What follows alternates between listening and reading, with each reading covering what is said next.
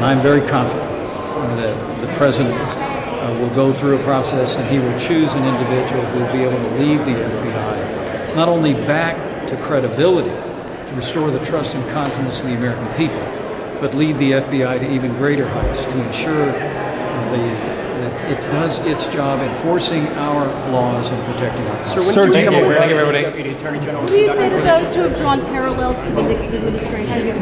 Why, why is now the right time? This was the right decision at the right time. Well, why is now the right time? Uh,